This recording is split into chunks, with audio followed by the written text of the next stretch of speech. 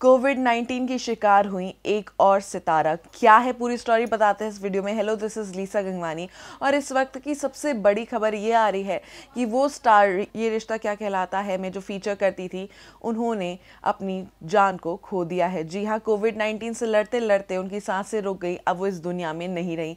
क्या है पूरी स्टोरी वो भी बता देते हैं। हम आपको कुछ दिनों पहले अपडेट दिए थे कि किस तरीके से दिव्या भटनागर, जो कि ये रिश्ता क्या कहलाता है, मैं नज़र आती थी, वो लड़ रही थी वेंटिलेटर पर थी, उनकी हालत क्रिटिकल थी ऑक्सीजन लेवल्स काफ़ी ज़्यादा ड्रॉप हो गए थे। जब उनको फीवर था और ऑक्सीजन लेवल ड्रॉप हो गया था 71 पर तब उनकी मम्मी को पता चला था और वो भागती हुई गुड़गांव से इनके पास पहुँची थी और इनको हॉस्पिटल में एडमिट करवाया था दिल्ली के ही। लेकिन इनकी हालत सुधरने का नाम नहीं ले रही थी। वेंटिलेटर पर भी ऑक्सीजन 84 तक ही पहुँच पा रही थी और कुछ भी हालत में सुधार नहीं था। ऐसे में उनकी मम्मी ने सबको बताया था कि वो किस तरह से टेंस्ड है उनकी बेटी की हालत को लेकर। यहाँ पर उन्होंने ये खुलासा भी किया था कि किस तरीके से उनकी बेटी के पति, यानी कि उनके दामाद, उनकी बेटी का साथ छोड़कर चले गए हैं। गगन पर ये बड़ा आरोप लगाने के बाद गगन खुद सामने आए थे और उन्होंने कहा था कि उन्होंने अपनी वाइफ का साथ नहीं छोड़ा है।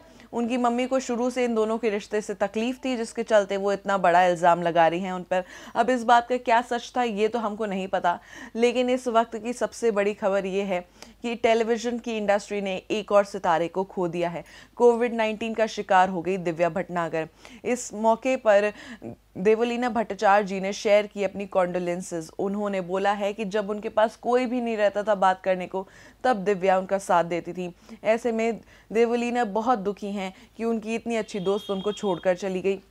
लेकिन वो बिलीव करती हैं कि अब दिव्या एक बेटर प्लेस में होंगी और उनको खूब सारी बेस्ट विशेस और पीस की विशेस देती हैं। अब ऐसे में इस इंडस्ट्री पूरी मॉनफुल है।